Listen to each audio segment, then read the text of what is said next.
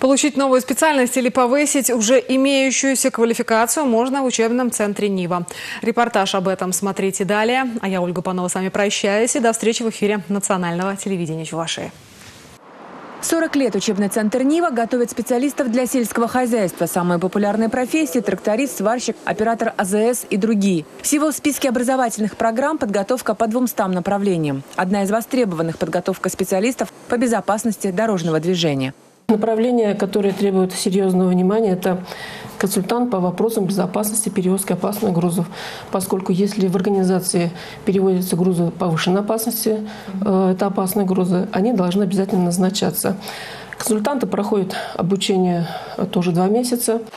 Основное направление работы – подготовка водителей всех категорий. В учебном центре пять современных автодромов, более 130 машин и тракторов. Ежедневно здесь сдают экзамены и будущие трактористы, и будущие водители. В прошлом году более трех тысяч человек получили права категории «Б» и около 900 права на вождение трактора. Недавно в учебном центре появилась новая услуга – обучение вождению на квадроциклах.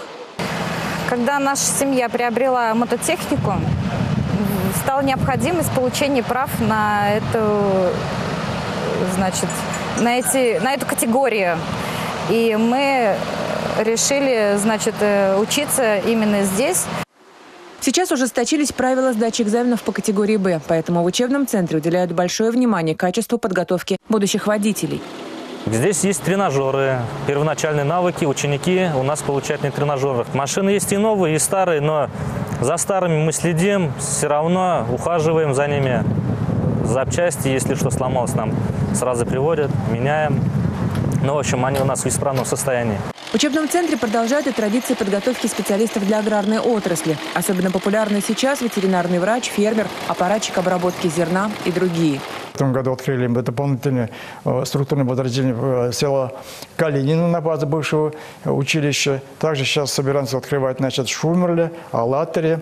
Мы собираемся охватывать весь, э, всю, это, всю республику. Учебный центр «Нива» – государственное предприятие. Здесь работают преподаватели, имеющие большой производственный опыт и стаж работы. Многие имеют научные степени. После обучения в центре слушатели получают сертификаты и дипломы установленного образца. Специалисты, прошедшие здесь обучение, всегда востребованы и всегда находят работу.